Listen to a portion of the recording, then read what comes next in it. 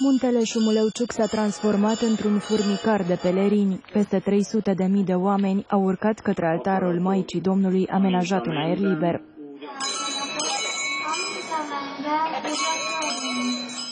Credincioșii au venit din toate colțurile țării, dar și din străinătate, chiar și din îndepărtata Australie.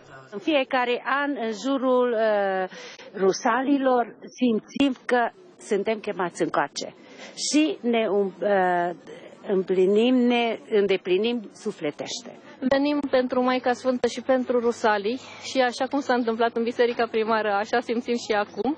Ne rugăm pentru pace și pentru binele comun, binele tuturor.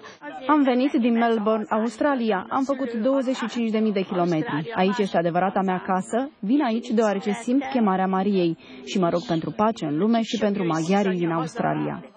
Pelerinajul este legat de legenda care spune că în anul 1567 principele Transilvaniei, Ioan Sigismund, ar fi încercat să le impună unitarianismul credincioșilor romano-catolici din Ciuc, Gheorgheni și Cașin.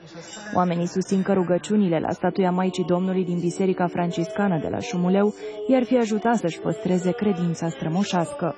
Totdeauna când sărbătorim ceva, atunci uh, omul simte că ceva lipsește pentru uh, a întări sufletul, pentru a uh, primi un cadou de la Dumnezeu.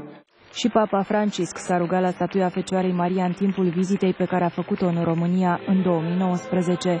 Tot atunci, suveranul pontif a dăruit sanctuarului de la Șumuleuciuc trandafirul de aur, pe care l-a așezat la picioarele statuii Fecioarei Maria.